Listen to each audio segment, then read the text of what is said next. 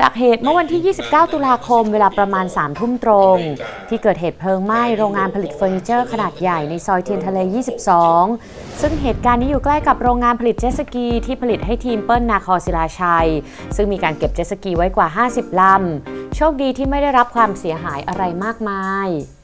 เพลิง ไหม้เมื่อคืนนะฮะที่ซอยเทียนทะเล 22นะฮะซึ่งมันติดกับซอย 24 ซึ่งเป็นโรงงานที่ผลิตเจ็ตสกีแบรนด์ไทย ชื่อว่า Freedom Racing ที่ส่งไปขายตามทั่วโลกต่างประเทศนะนะฮะครับซึ่งทั้งหมดเนี่ยทั้งผลิตตัวเรือทั้งอะไหล่เครื่องยนต์ทั้งอะไร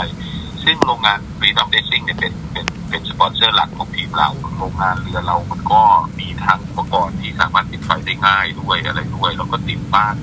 ของเจ้าของ เอ่อทีมปีดอมเดซิ่งด้วย ซึ่งแบบโอ้โหนี่ถ้าเสียหายก็แบบเป็นหลายร้อยล้านนะก็ภาวนาแบบโอ้โหเราก็พอทราบข่าวก็ต้องรีบขับรถไปหาเลย เพราะว่าเราต้องไปดูหน้างานว่ามันเป็นยังไงลมมันนะถ้ามันพัดมาทางโรงงานเจสกีเราเนี่ย